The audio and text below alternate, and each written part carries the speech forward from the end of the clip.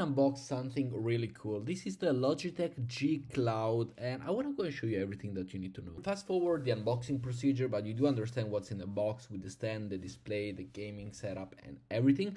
And I will go and showcase you also how I play my video games. I will go and launch FIFA for you so you understand a little bit how it games and how everything. But first of all, we're able to see the the positioning of everything, the squares, the keynotes, the notes and everything, the display, how good it works, kind of like a personal computer desktop uh, kind of display with all the games. We got the analogs, right, left, the A, B, C or square, circle, X, Y on the sides the ROG logo as well, the Asus logo on the back and the ROG logo, which is very, very nice and overall it works absolutely beautiful and it does look beautiful. So now that we've done the unboxing and the beginning part of everything let me go and showcase you a little bit of the gaming experience. So let's launch fifa 23 i will go through the settings and everything and i will go and show you the gaming experience. So picking two teams and here we are. So as you're able to see the color wise are very very nice. The screen is a really really nice screen. Of course it's a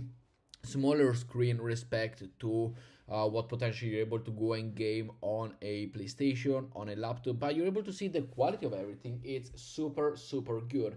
And it does look very, very nice to everything. So, when it comes to the device itself, why do I like it? Well, I do like it because you are able to take away kind of like the PSP back in the days, if you remember. That was a thing of beauty. And this one is a little bit of a throwback to it in my opinion but we have different feelings different position of the analogs a little bit of a bigger device also because of the battery life and the screen card and the quality and everything. So this is how it works. But overall as you are able to see it's a really really nice device. The gaming is fluent it's crisp there's no lags there's no nothing. So overall really really happy with it I think it's nice. I think you know if you're a gaming person, you will definitely enjoy it. You will like it. You will, uh, you will take care of it, and you will game a lot on it. So definitely a big thumbs up for me, and I personally really really like it a lot.